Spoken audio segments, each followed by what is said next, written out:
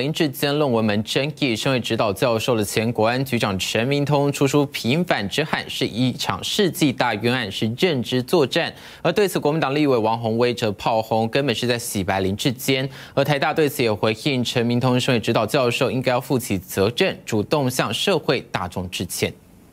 主张林志坚并未抄袭，台大学联会这个呃的判决是一场世纪大冤案。前新竹市长林志坚抄袭论文案闹得沸沸扬扬，身为论文指导老师的前国安局长陈明通，为了替自己学生平反，大动作出书喊冤，希望早日还给呃志坚一个公道。为什么闹得风风雨雨的这么久的时间啊？是一个认知作战的问题。记者会上秀出所谓公版文件，主张林志坚案闹这么大，是因为。认知作战问题，引来最初揭发论文抄袭的国民党立委王宏威炮轰。我始终都说。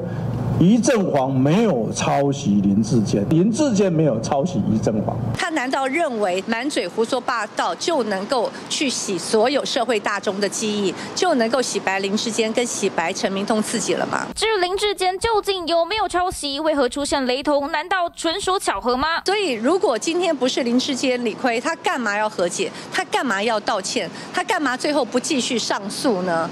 那所以，我觉得，呃，陈明通真的是睁眼说瞎话。针林志坚抄袭案，即使台大学伦会、法院、教育部都认定抄袭，作为恩师的陈明通还不死心，至今还在喊冤。台大只能再发声明，强调学术伦理和诚信是学术研究的基本要求，再次呼吁陈明通应该向。